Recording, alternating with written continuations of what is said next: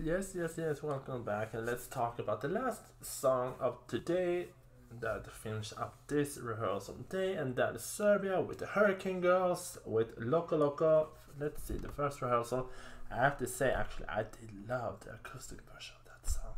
I thought that was even better than the song they're gonna perform, but I have high hopes because I think they're gonna bring a show.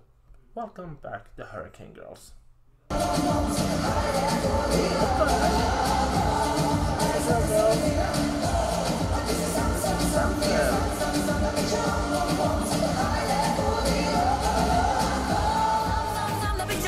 Okay, I have to say that looks expensive, and uh, I saw it before. Before they have like black and white Loco Loco all over the walls. I was like, okay, it looks expensive, because I remember when we had that, you know, when panel was gonna watch the 2020 songs, and they actually called their uh, last year's performance of their song uh, Hasta la Vista, and I remember the panel comment that the outfit looks cheap, the whole performance screams cheap.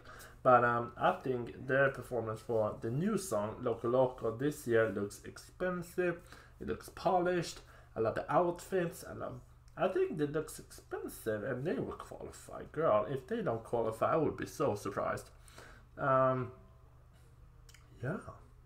I have to say, well done. This, I think, semi two is a little bit more of a bloodbath than semi one. But um, the only songs I'm a little bit nah about this time of this semi-final so far is Estonia and Austria. Those are nah.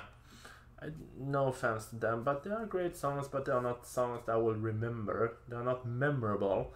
But anyway, thank you to Hurricane Girls with Loco Loco, and see you tomorrow with more rehearsal clips. Bye!